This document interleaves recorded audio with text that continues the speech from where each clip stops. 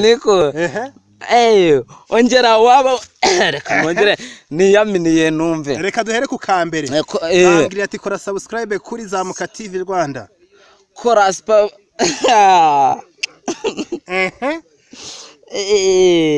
gerageza karoroshye sabusikarayibe se ariko kakoraniye Eh, eh, mukiri muchinyi navana vasha kuwana kusuhurisa socrates papastopros socrates papa stopros securatis to passport Eh, mumbwirira ati fresh fresh so eh, ese perezida w'uburusiya uramuzi uko yitwa gisekuru? Mm? perezida w'uburusiya uramuzi uko yitwa? Eh, perezida w'uburusiya. Eh. eh, ntabwo naba mbashije kuba muzi. Gusa amazina nyakubwiye wayasubiramo? Eh, wayambwiye ko kuyambwira bimfasha. Eh, ndagira ngo uvuge ko ati yitwa vladimir vladimirovich putin. ryitwa buravamire? Mhm. Burava? Mhm. Buradomire buradomirovici putine twagiye. Buravamire burada eh. buravamire burava burata ako kantu karoroshye karoroshye ndabyumva karoroshye ndabyumva ariko noneho ndumva kari kungurisha Mm. si ukukubeshya Mm. Eh, eh, inshuti yanjye buriya reka nkubwize ukuri ubu ngubu iyo wabashije kuba wankubise eh, ingingo nk'izo ngizo ngiye gusigara mbasha kuba nabisobanukirwaho neza mbyitorezaho neza ubu aho ubutaha nzabasha kuba kumenyaho gatoya. Eh. Kora sabusikarayibe kora kora eh, kazure muri mwe. Kora sabusikarayibe sabusikarayibe twagiye. Kora sayikosirayibe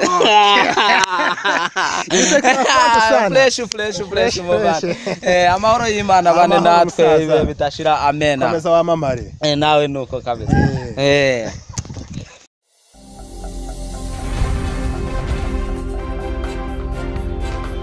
Zamuka rwanda iterambere ryanjye nawe.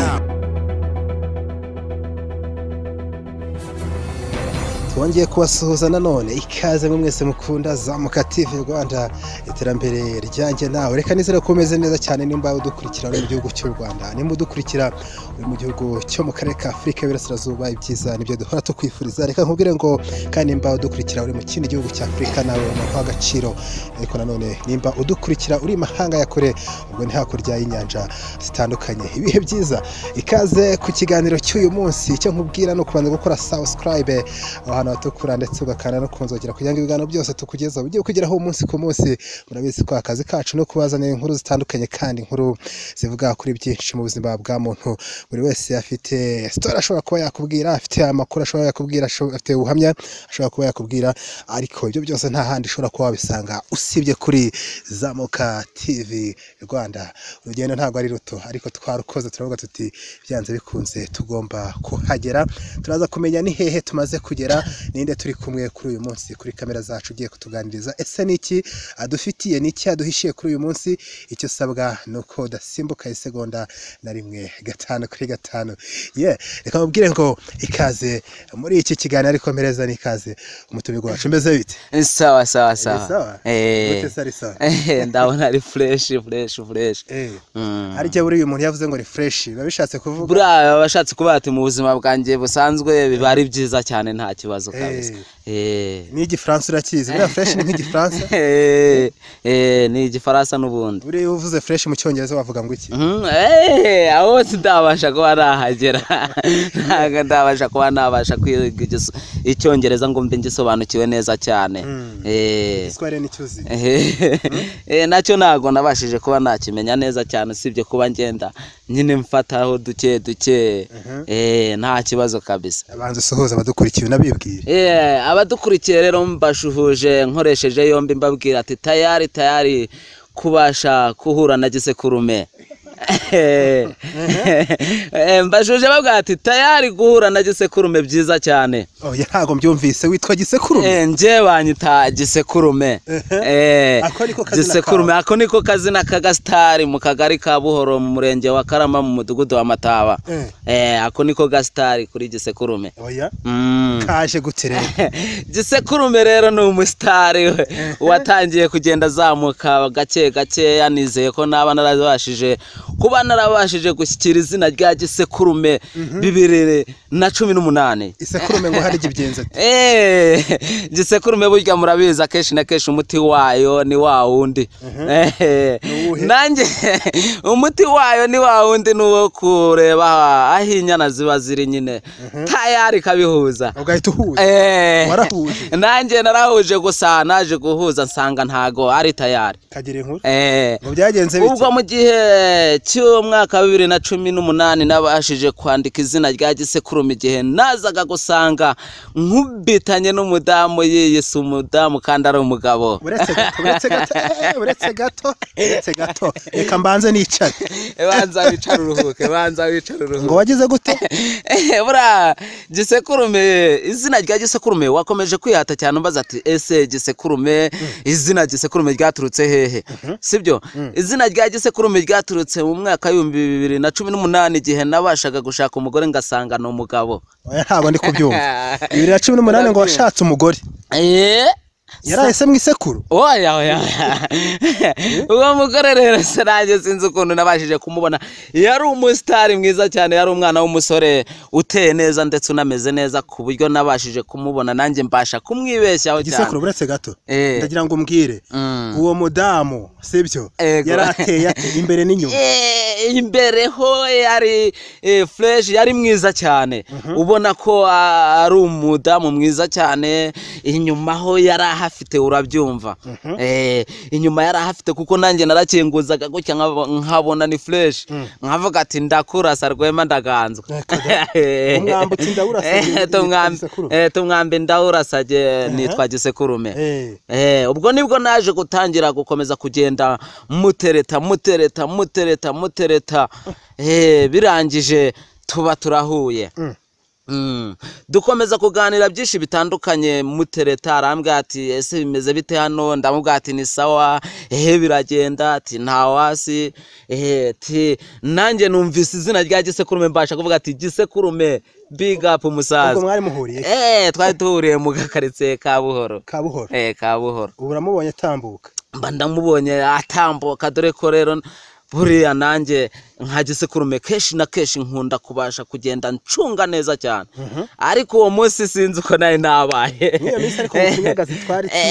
Ku buryo- Eh, nanjye icyo gihe nyine urabona nakururaga nishyira Na- nakururaga nishyira akaje nishyira akaje nishyira akaje nishyira ubwo umutipe nyine niko guhita afata umwanzuro wo kunkemurira ikibazo uko nguko. Yari yambaye aterera we yaje yambaye neza cyane kuko yaje yambaye umupira w'ingofero ugera ku maboko yambaye n'ijipo ndetse yambaye n'udukweto dufunze. Eh, nanjye- Yambaye n'ijipo? yari yambaye n'ijipo. Ari agakumi? Ari agakumi ndetse afite na mareti ku bi- ku- ku bitugu. Oya Eh, naye yari ayafite. N'amabere narayabonaga kabisa n'amabere narayabonaga. Umugore cyangwa umudamu yaje guhinduka ate kandi umugabo. Eh. waje kumuraza mu muvure ubwo ikintu cyaje kubinyereka umukobwa naje gukomeza kumutereta cyane mwita sheri wanjye ndetse tubasha kuba twahuza. Neza ndamubwira ati ese bimeze bite? Ni sawa? Ko nshaka kugutembereza nkakugeza mu rugo? Ati nta wasi. Eh, ubwo ngubwo nkimara kumugeza mu rugo ni bwo natangiye kugenda musaba kuri bya bindi. Eh, zera ku kugira nyama ati ese wamaye kuri bya bindi? Eh. Eh, bya bindi. Ku buryo twabashije kugera mu rugo noneho tugeze mu rugo eh, urabona nyine nk'umuntu w'umusitari nkanjye.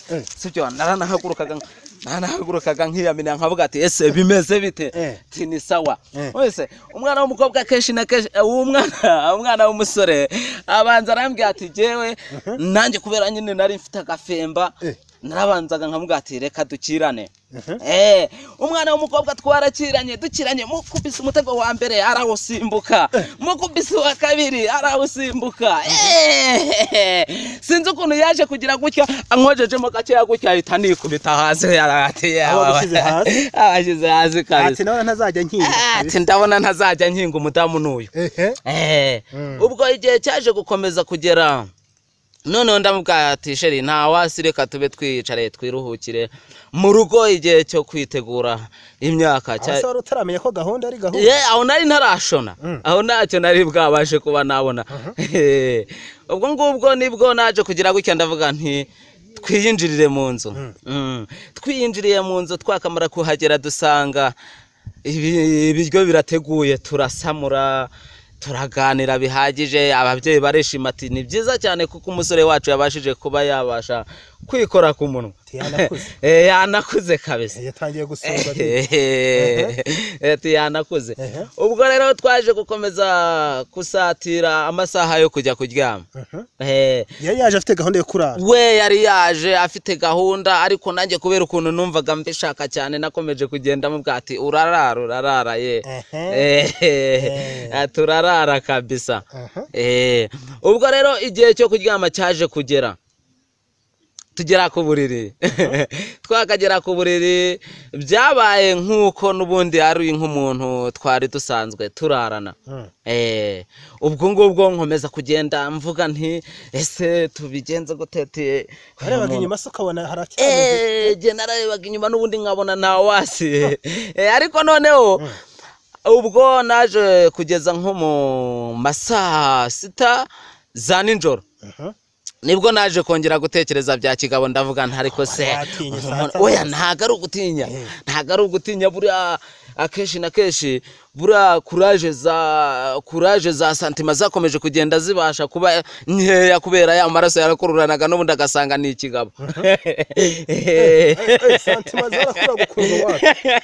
ngasanga wapi n'ubundi ngasanga ngasanga ni nk'umuntu twari dusanzwe Watekereza turara. ku- kugira ukuntu- Na- eh, natekereza kugira ukuntu ubundi nko mu masaa saba za nijoro ni bwo nabashije kuba mfashe icyemezo cya kigabo.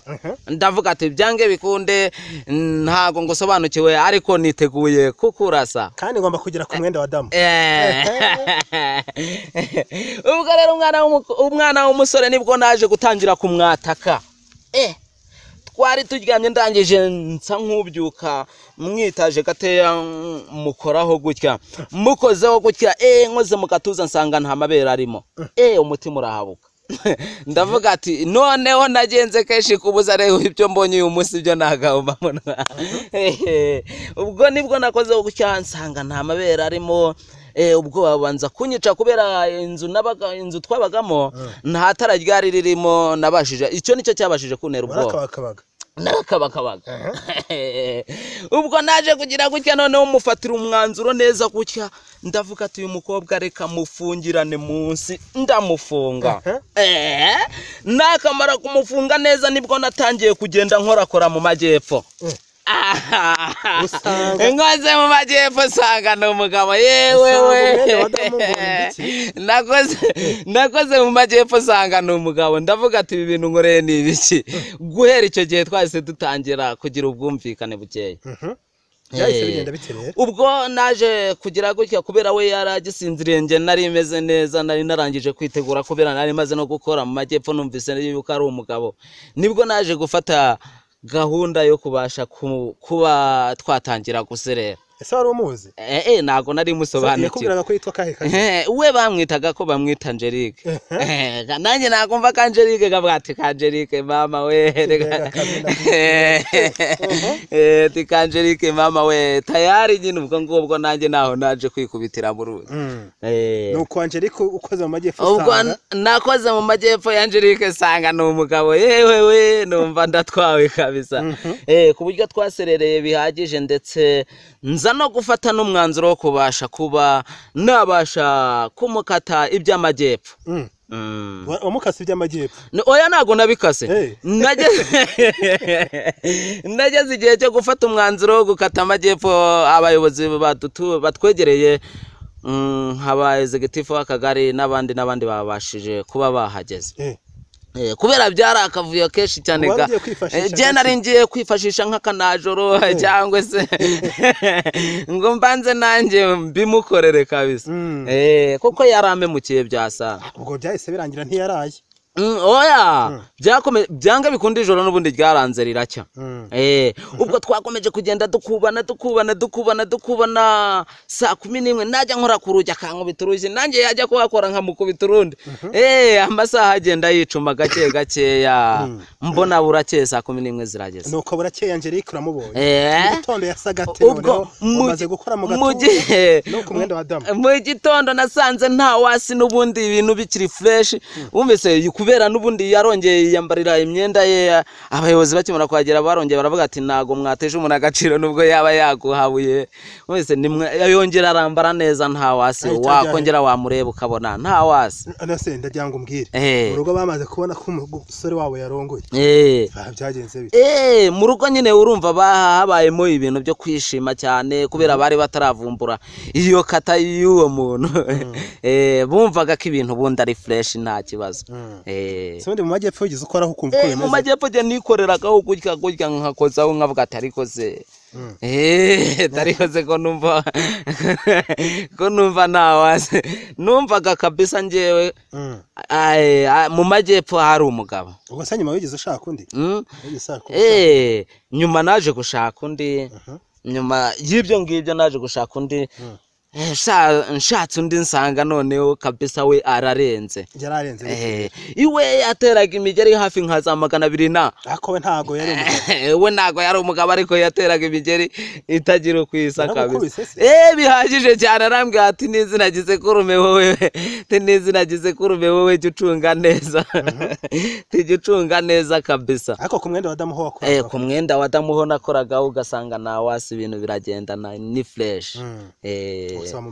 Eh, uwo naje ku- kumurangirwa n'umuntu w'inshuti yanjye arambwira ati nyamara uriya mukobwa wamwiteretera nanjye mubonye numva namutereta ubwo tuza guhuza ariko Mm. eh, tugahuza nsanga ari umuntu umeze nk'aho yikorera ku giti cyiwe. Ubwo ku giti cye yikoraga byari gute? Ku giti cyiwe? Buriya hari abantu hari abantu kenshi na kenshi baba bikorera ku giti cyabo.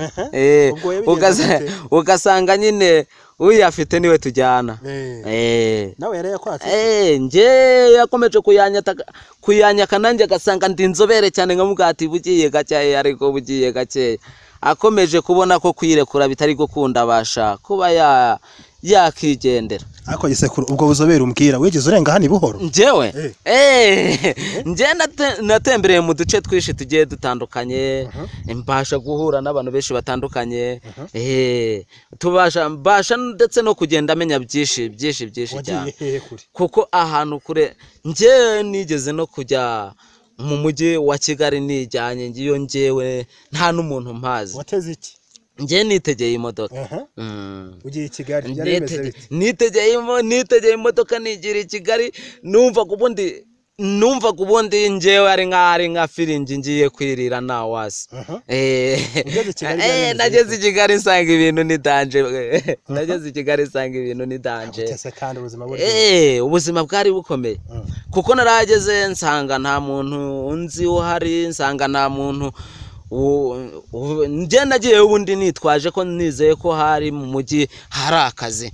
Eh, mu mujyi hari akazi wenda nimagera bahita batoragura ngo ngwino tuguhe akazi ngwino tuguhe akazi. Mm. Eh, ariko ntabwo byabashije kuba byakunda. Ndagira ngo umbwire umunsi wa mbere ugera i kigali byari Eh, bimeze bite? Umunsi wa mbere ugera i kigali natangiye kubona ibintu by'ibinyenyeri ntangira kubona ibihu.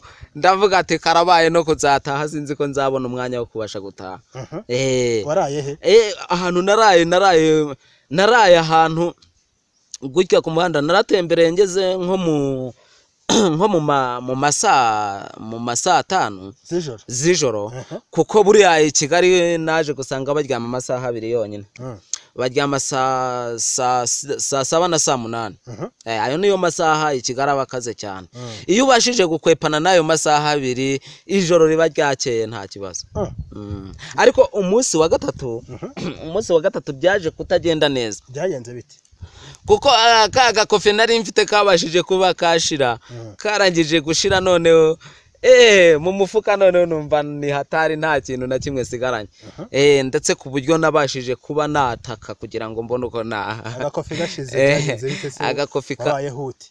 Agakofi kakimara gushira ubwo buzima bwakomeje kugenda bungora ugasanga noneho no gutembera ntago ndi kubishobora kubera ukuntu mu mujyi habaga hameze ubundi urabona imodoka ziba zitambuka abantu baba batambuka amamoto ibiki no kutahamenyera ugasanga ni ikibazo gikomeye cyane.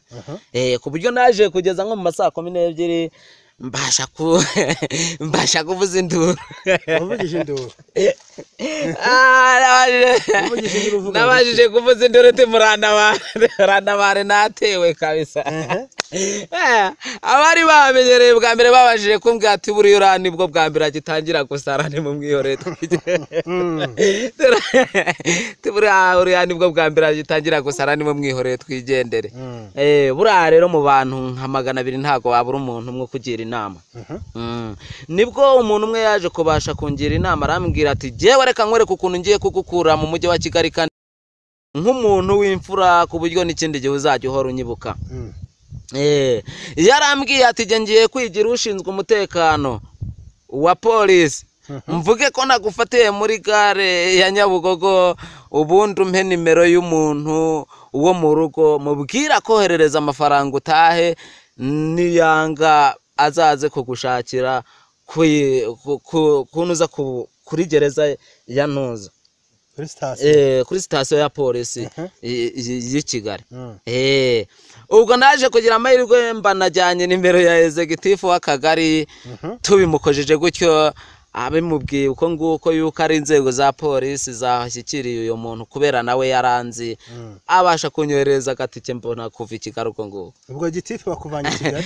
Eh, ugeze muri karitsiye rero. Eh, nageze muri karitsiye rero batangira kumbwira ati ubundi wajyaga i Siko wari uzi ko eh nageze nageze hano mu mujyi nako nageze hano mu gakaritsiye. Mm. Abantu benshi cyane mbasha kugenda mbahisha ibyanjye mbasha kubabwira ntabasha kubemera yuko mvuye i kigali kabisa. Eh. Wabwiraga ko uvuye? Eh, nababwira ati nari natembereye hari n'umwana nari nateretaga nari nagiye gusura nyine. Mhm. Eh, gitifu rero ndaje arambaza ati ariko se weho usara mu mutwe.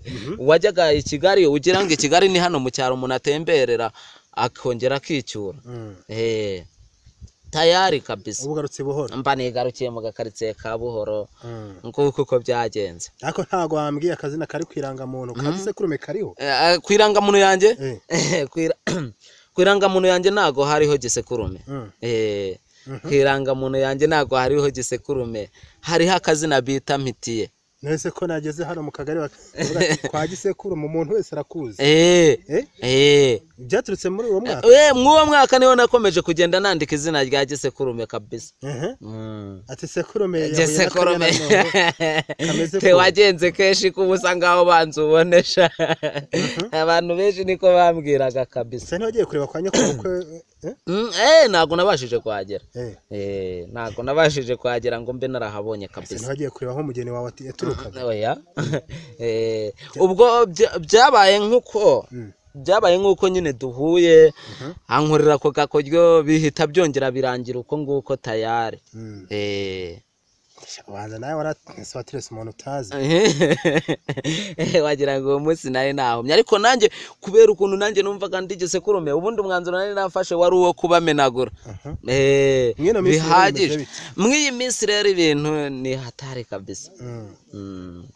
Se mw'iyi minsi uba usanga akazi ntako Mm. eh, ugasanga umuntu ntukwirirwa ajya gushaka akazi ariko ntikabashe kuba kaboneka.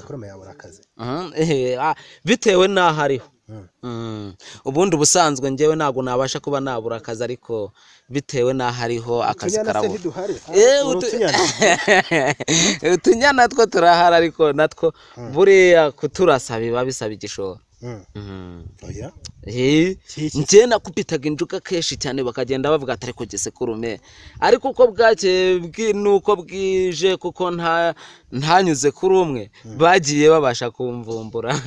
Eh, bakuvumbura. Eh, babashaga kumvumbura kuko njyewe buriya ni njyewe musitari wabashije kuba narabashije kugera mu rwego. Ndi umu- ndi umusore w'imyaka makumyabiri n'itanu. Yose Eh, hari uwo utwaje ubu oya ntawe ntwaje. Eh, ariko ntawe ntwaje. Ariko ninjye wabashije kuba narazonze. Ninjye wabashije kuba narazonze agakaritsiye kuko nabashije kuko ngafitemo nk'abana bageze muri batandatu. Oya? Mm. bawe se? Eh. cyangwa urera? Eh, banjye bwite uwa mbere byagenze uwa mbere nyine namukubise mu ruzi arangije ndamureka arigendera. Mm. gute se? Kuko nawe nabonaga tutari guhuza Mm. abo bose baje nyuma Mm. Abo bose baje nyuma y'uko njyewe mbanje gushaka icyo kiga- icyo kigabo. Mhm. Eh. baje kuguhoza Eh, amarira baje kumbaza amahoro akanyegeraga naragabwira ati buretse nkwereke. Eh, gisekurume rero naho ryagiye rituruka. Mm. Eh. Ah, hanyuma gisekurume dusoza n'icyo wabwira abadukurikiye by'umwihariko abantu babonye gisekurume bwa mbere? Abantu nabwiye gisekurume bwa mbere nababwiye ati muntu wabonye gisekurume umenye ko wahuye n'umusitari mu kagari ka buhoro. Kandi akaba akugira inama akubwira ati muntu wanjye jya ucunga neza kuko hanze aha hari benshi bakajije umurego wo kukubuza kuryama hashashe. Eh Mm. So, ujye ucunga neza kuko biba bi- ntabwo biba bimeze neza. Nk'umuntu wabashije kuba yanshutse bigeze aho ngaho nawe ashobora kuba yabona ko uhagaze neza akaba yabasha kuba yagushuka. Hari abantu badashaka ko umuntu aryama hashashe? Eh, nose nk'umuntu w'umugabo. Nk'umuntu w'umugabo uzemera gufata igitenge cyangwa se ijipo agakenyera agafata umwanzuro wo kuza gusura umusitari nkanjye. Mm. sibyo? Aba aba agamije kumuzonga nta kundi kabisa. oya Eh. gusara. Oya oya buriya se noneho. Buriya niba bivuga ngo ni njye byabayeho jyenyine mm, bivuze ko si njyewe yabikoreye njyenyine Eh, hari n'abandi ashobora kuba yarabonye n'abari abasitari bakabasha kuba yabashuka biciye mu izo mw'ubwo buryo. Mm. Mm. Ntabwo wigeze umenya aho aturuka. Ntabwo nigeze menya he? Eh, twahuriye mu gakaritsiye ka buhoro mu kagari ka buhoro.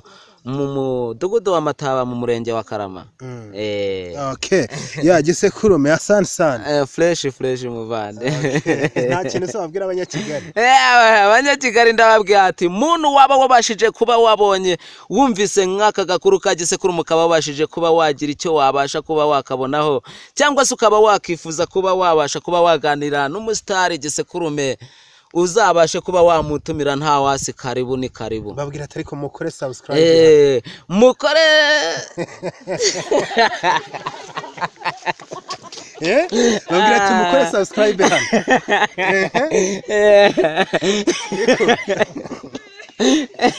Eh, buriya buriya kabisa. Eh, buriya nshuti yanjye ibintu njyewe Ehe. umva ikintu ugiye kubabwira? Yego. Kora subscribe kuri zamuka tv rwanda. Kora kora? Nsubiriramo rimwe kora ryonyine. subscribe kuri zamuka tv rwanda. Biranzonze bira Urumva karoroshye cyane karoroshye ariko karoroshye ariko ati kora subscribe kuri zamuka tv rwanda yewe we wapi wapi wapi wapi sindabiboroga gisekurume ndashaka ko unsuriza umukinnyi witwa socrates papa stopros Mm? socrates papa stopros Mm. eh munsuhuriza ati socrates papa stopros ndagusuhuje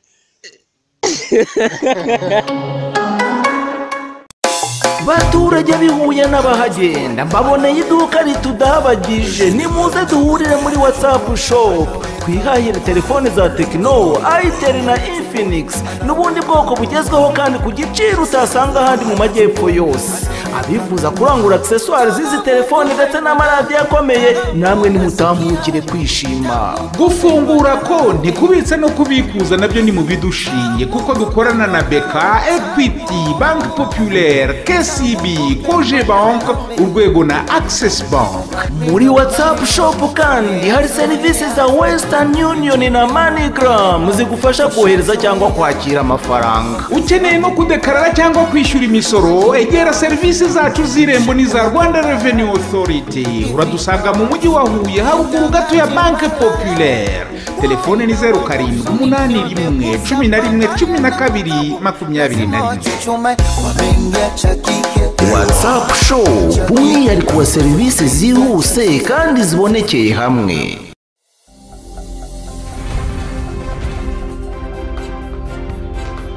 Zamuka rwanda iterambere ryanjye nawe.